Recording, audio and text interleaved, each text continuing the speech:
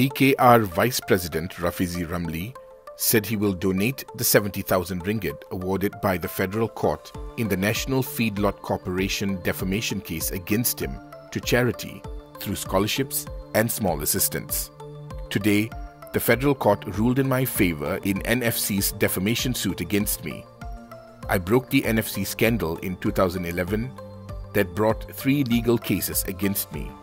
I won all three. The sum awarded to me will be returned to the public as scholarships and small assistance, the former Pandan MP said in a Twitter post.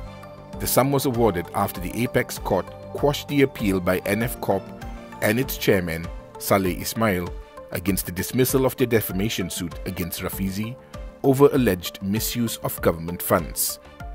Chief Judge of Malaya, Azahar Mohamed, who chaired a three member bench, said Rafizi had successfully raised the defense of fair comment to defeat the suit.